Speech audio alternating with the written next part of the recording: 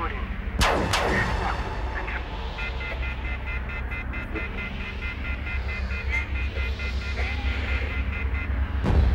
Bruce, is Greg. The checks are here. All of them? Yes. Did they cash? Yes. Do they know what we're going to do? Five chapters. I'm sure they hope it has something to do with skiing. Oh, good. I'll round up the crew.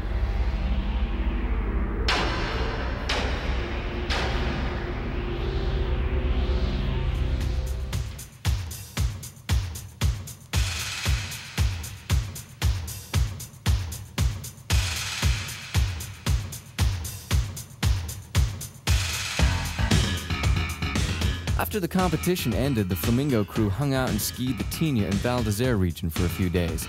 But a phone call from Loda Richetier, the marketing director for Les Arcs, one of France's finest ski resorts, prompted us to journey across the valley to the town of Bourg Saint Maurice, the base of Les Arcs.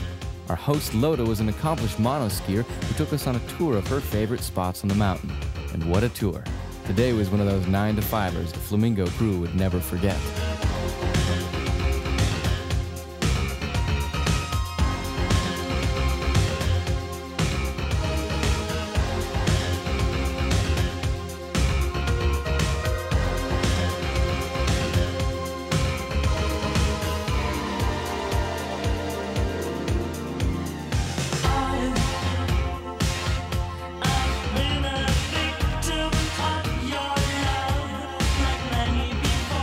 Les Arcs is an amazing ski area.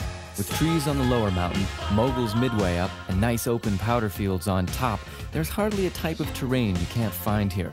All of it world class. But do they have steeps, you ask? No problem.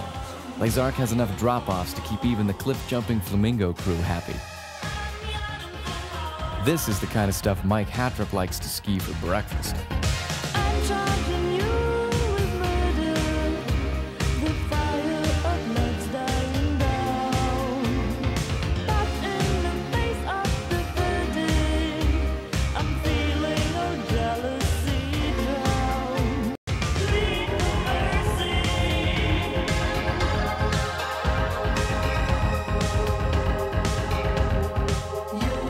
Lived on the mountain for a couple of weeks, eating croissants, drinking supercharged French coffee, and living the Euro ski bum lifestyle. Once again, we got lucky with the snow. In the 13 days we stayed on the mountain, we saw between 3 and 4 meters of new, fresh powder. Skiing in Europe is a very unique experience.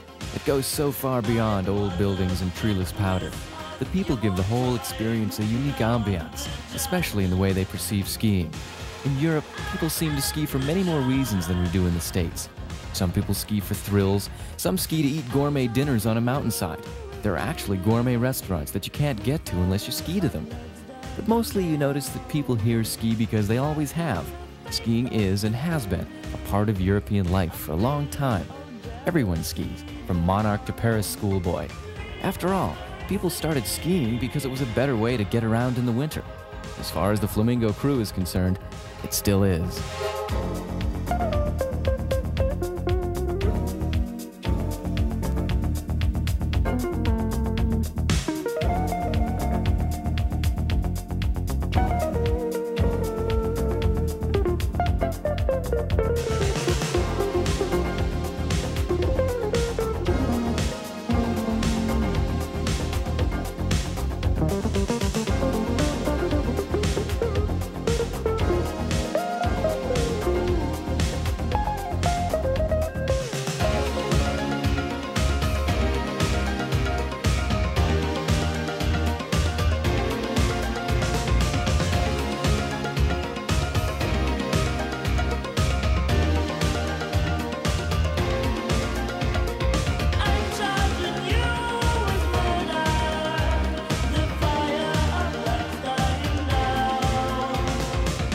Although we hadn't done much work on the serious chapters of our movie, we had done something we'd never forget.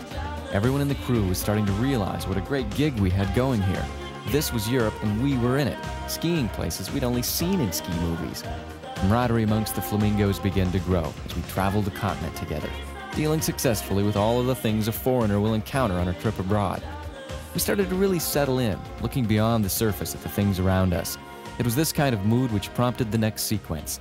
This sequence came about when Bruce and I, as photographers, began to notice the similarities in photographic texture between European architecture and European skiing.